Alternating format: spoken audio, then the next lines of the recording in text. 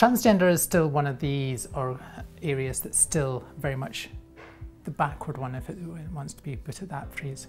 It's more and more spoken about these days, but I think it takes an organisation like MyGWork to highlight that issue, to highlight the positivity that's happening in this space, because it is spoken about more and more. I mean, we've known each other for a few years now, and I think even in that short space of time, the positivity that has actually been surrounded with being transgender has suddenly, suddenly taken notice, and everybody is feeling, I feel positive about it, and it takes organisations like so MyGWork to do that. I think one of the main things that MyGWork really, really brings is in terms of the Equality Act, the latest piece of the legislation that we're all bound to, which came into force in 2010. And as we know, LGBT is protected under that act in two areas, sexual orientation and also in gender identity. And one of the things that myGwork is very, very positive about is bringing that out in employers and recognising that in employers that are at that forefront of being able to say, yes, it's okay. Because we know there are still organisations that are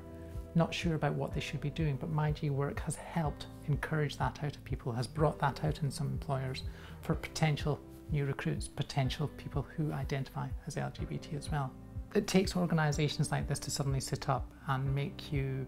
feel proud of who you are and proud of what you are about and you haven't got anything to fear about anything in life in the last five years, we've seen an enormous amount of change, what's happening in the LGBT space in particular. But I suppose I'm going to be slightly selfish and say from a transgender perspective that we are incredibly proud of who we are and proud individuals. And I would recommend anybody who is only just starting on this journey or only seeing themselves at the end of the journey it doesn't matter where you are on a journey because all life is a journey, whether you're LGBT, whether you're any other kind of denomination you want to think of. Just keep doing what you're doing and thank you very much to MyGWork for bringing us into this space. Being a part of MyGWork, I'm incredibly, incredibly proud to be a part of that organisation, this organisation and being a role model for the organisation